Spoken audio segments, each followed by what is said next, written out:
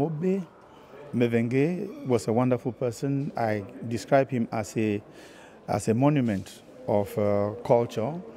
Uh, he was a talented journalist, uh, a man of culture who raised Cameroon and the African flag very high in the world.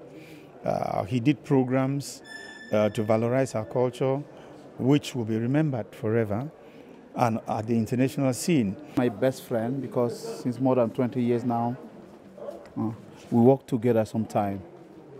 But now, you know,